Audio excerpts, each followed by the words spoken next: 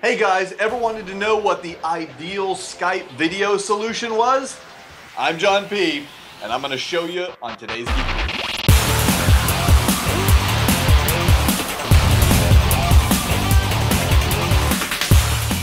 This episode of Geek Beat is brought to you by Audible.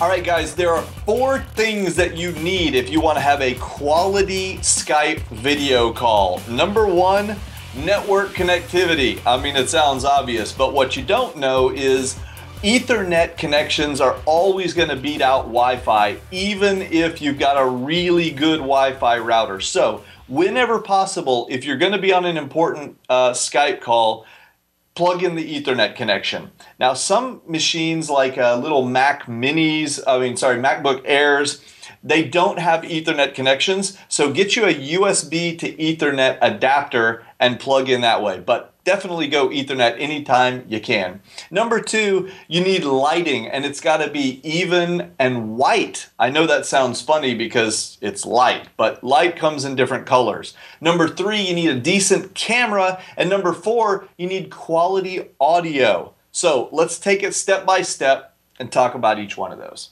All right, I'm not going to beat the network thing to death because it's just something you've got to deal with. that's kind of outside of the scope of this, but most important thing you can do is have a nice router. And so if you need suggestions, ping me on Twitter or Google Plus, and I will tell you exactly which router will work good for you. Okay, number two, it's going to be the lighting.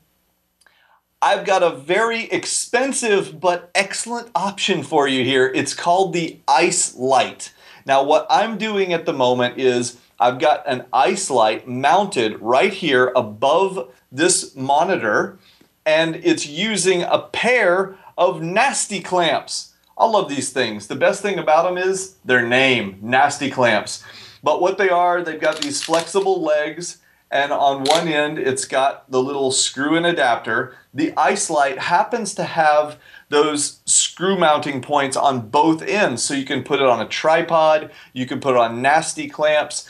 I've got the ice light clamped directly to this 27 inch uh, monitor, which, you know, some people might worry about doing. So you don't have to clamp it to that. You could clamp it to a shelf or just anything that would support the light. It's not very heavy. Now, the light costs 500 bucks, but it has some other great features. Number one, it's highly portable, so you can stick it in a bag and carry it with you. Number two, it's got two and a half hours of built in battery life, so you don't have to plug it in anywhere. And number three, it's actually made for photography, and so you can use it when you're not using it for Skype calls, you can use it for photos or video work or anything else. I really recommend these things. We use them. I've done some great photos with them, and you can see it's evenly lighting me, and it's nice and color uh, day daylight color balanced. So that's really important.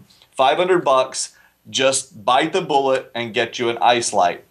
I want to show you the difference between having the ice light on and off. Right now it's on. This is what it looks like when we turn it off. So you can tell there's a huge difference. Also, one of the cool things about the ice light is the power is adjustable. So I can turn the lighting down. This is way down low. Or I can turn it up so bright that it makes me look like Casper the Ghost. All right. By the way, these nasty clamps, pretty cheap. They're like $25, $30. We'll have links to all of this in the uh, on the geekbeat.tv website that accompanies the post today.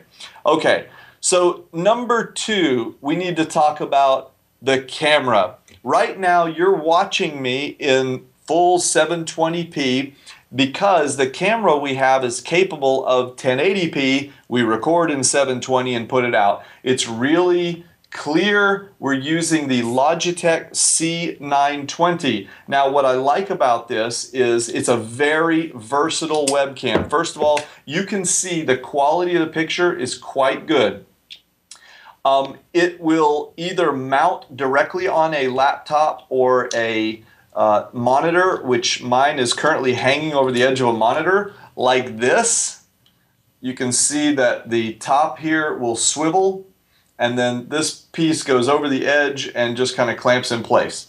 So that's what the C920 looks like, but it has one other extra special feature besides just the video quality, and that is it has a tripod mount on the bottom, which I really, really like because you could screw in a quick mount plate like this little Manfrotto plate here, and then you can snap it onto a tripod head.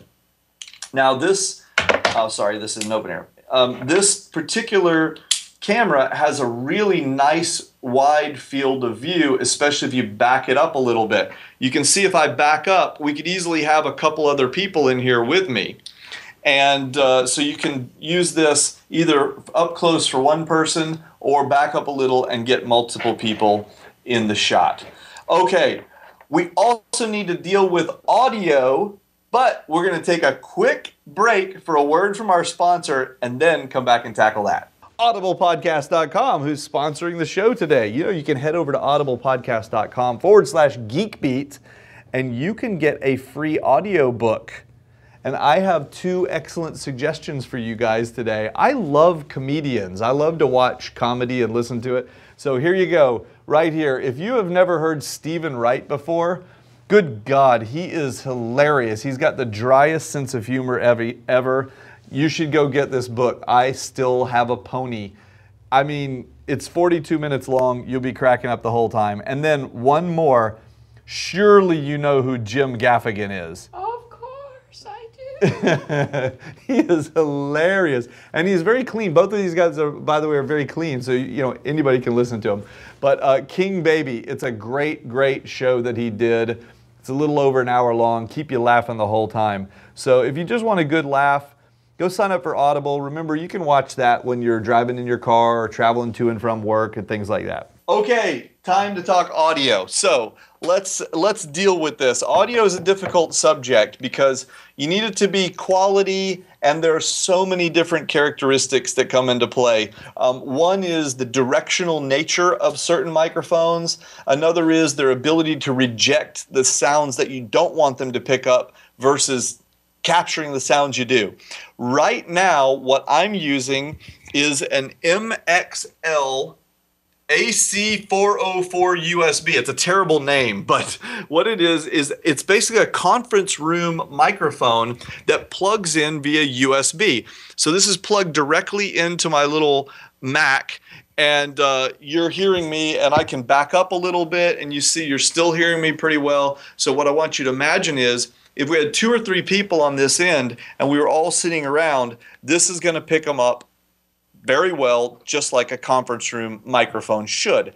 However, there's one drawback to this kind of microphone, and that is uh, it picks up all the people well, but it also picks up all the other noises. So right now, I'm shooting this in a very quiet space with no extra noise, if, however, you're not able to accomplish that, you're going to have to switch over to some headphones. So, just so that you know, the MXL um, speakerphone mic here goes for about 75 bucks on Amazon. And this is an Editor's Choice award winning microphone here on GeekBeat. We love it. We highly recommend it. You can use it for a lot more than just Skype video calls. You can use it for any kind of calling you need for those cases where it's going to be noisy and you want to you can't really hear very well from the speakers on your computer you're going to need some headphones. And these are the ones i recommend. These are made by logitech. They're the h540s you're going to see that there's a mute a mute button here and there's volume buttons right here. It also has a little microphone that that pulls out from the side and one other interesting thing about these, usually headphones of this type come in over the ear or on ear uh, styles, I guess.